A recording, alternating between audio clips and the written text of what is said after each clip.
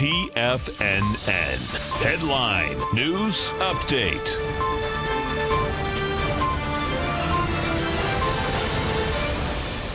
Good morning, everybody. I'm Tommy O'Brien, coming to you live from TFNN headquarters in St. Petersburg, Florida, 10 a.m. Eastern Time on Friday, 30 minutes into the trading day. And we got red across the board to start things off. S&P's right now negative by 16 points, trading at 28.62. Nasdaq negative by 46, trading at 78.51, and the Dow off 109, trading at 25,750. Markets actually off of the lows. We were down more at one point coming into the open. We've got the dollar index up 62 ticks, 97,740. Notes and bonds pretty calm, slightly higher price and lower yields. 10 year up two ticks, 124.15. 30 year up seven ticks, 149.21. Gold continuing the downtrend from yesterday off $5.80 at 12.80.50. You got oil up 35 pennies at 63.22.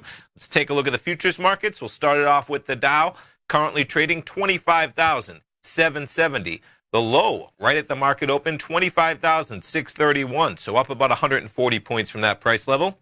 Nasdaq 100 pretty similar action. We trade lower for most of the overnight.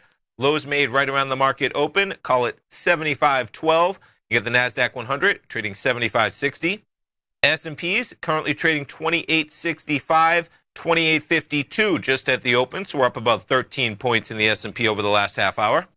Crude oil with some volatility as well, reaching a high at about 6:20 a.m. this morning, 63.63.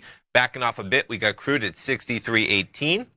There's your gold contract pulling back a bit, even from about 740 this morning. We're up at 1287. You have gold at session lows 1279.64, and the euro US dollar trading 111.69. In terms of what else you have happening out there, it's still earnings. We got a few earnings numbers for sure.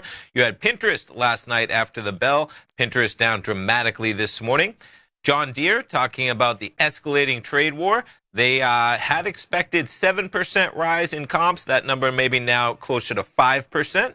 You had AMAT coming out with their earnings, beating estimate and their shares rising. NVIDIA's shares seeing a brief pop. The headline is, let's see where some of those are trading right there. NV, oh, we're not going to get there, are we? Come on, close it out.